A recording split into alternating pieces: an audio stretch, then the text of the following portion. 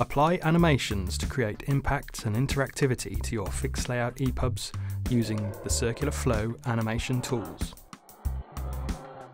It's easy to make and apply animations to any image, page object, and even live text frames, with no coding required using the CircularFLO animation tools.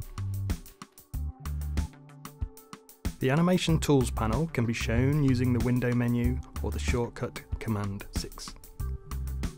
Click the Make New Animation Setting button to select and adapt your own animation settings.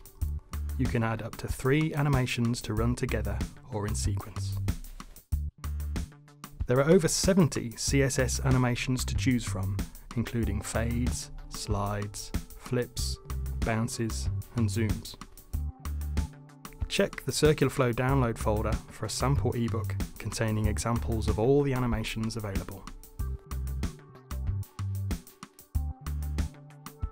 In the top row of the Make Animation Setting panel, choose the first animation style from the drop-down.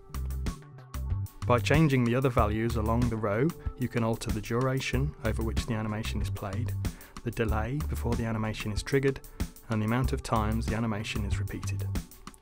Set the repeat value to zero to constantly repeat the animation without stopping.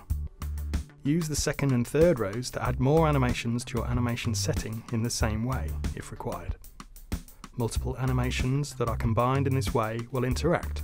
For example, items can fade in or out whilst also sliding. Be aware that some multiple animations can override each other, and also the repeating option does not make a difference for all animations.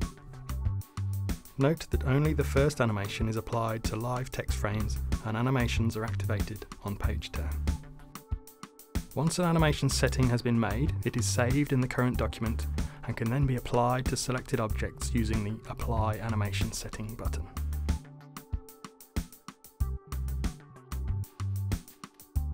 Animations can be quickly previewed in the Safari browser by clicking the Preview HTML page in Browser button.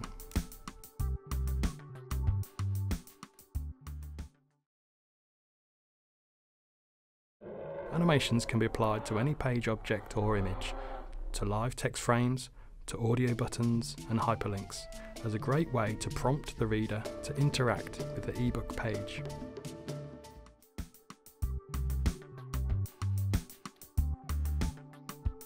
Animations are stored with the object they are applied to, and so can be saved as InDesign snippets, saved in InDesign libraries, and dragged between pages and documents to quickly share and reuse your animation settings.